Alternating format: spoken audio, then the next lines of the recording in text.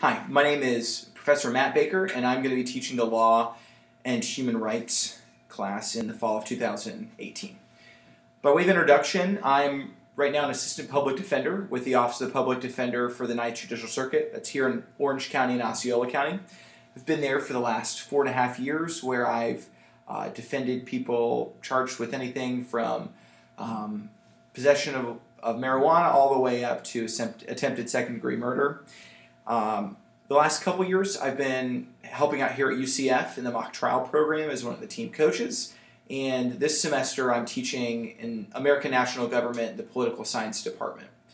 So, this class is going to talk about human rights.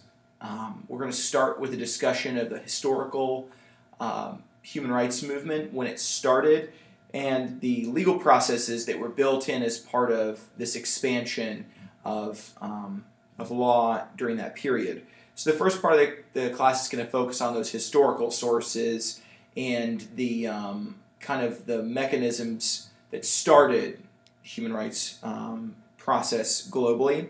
Then we're going to talk about the current core, um, current processes that exist in human rights, the treaties that exist between countries, as well as the international courts uh, that exist a large section of the class, the middle part is going to talk about, each week we're going to talk about su- substantive human rights. Things like freedom of conscience and expression, economic, social, and cultural rights, um, the law of privacy, uh, things like that that exist um, both in the US and globally. And then finally, the last section of the class is going to talk a lot about human rights and war, uh, things like genocide, crimes against humanity, um, and how those fit into the international legal system and human rights.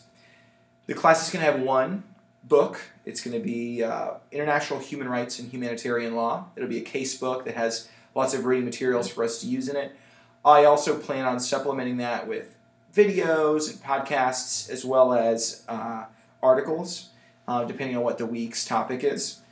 The assessments in the class are going to be um, one midterm exam after we talk about the process parts of the class. And then later on in the class, there'll be a midterm paper that's due that'll focus on one of the topics we discuss in the substantive human rights section.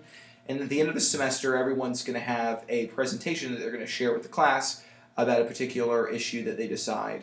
Um, can be something about the paper or something even totally different. This class is going to be discussion driven, so that means that each week we're going to talk about the things we read.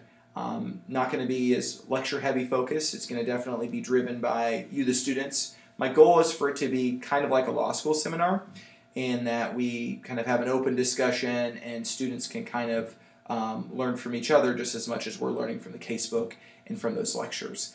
So I look forward to the chance of having you in my class in the fall of 2018. It's going to be called Law and Human Rights. Thanks.